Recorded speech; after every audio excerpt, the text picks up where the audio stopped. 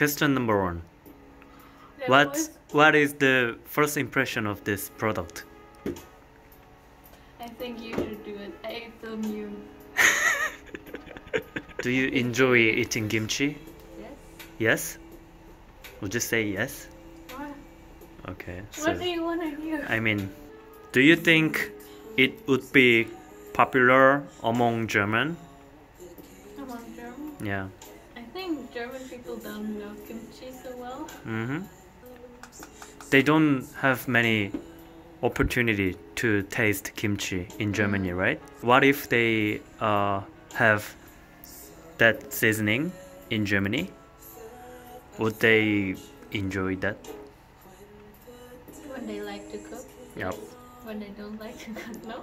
But it's the the good thing of this is that it's easy to cook with this seasoning. But I've never tried though. but that's why that's why we we need to try this. Right now. advertising when you never tried it. I'm not good at advertising though. Me neither. So now just I need your help to promote this. I'm not good in promoting. Me neither. but let's do what we can do. Just anything we can do. Okay.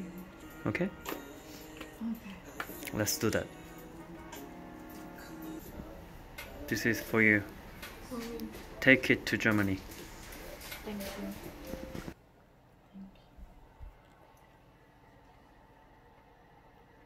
How's it? Good. what?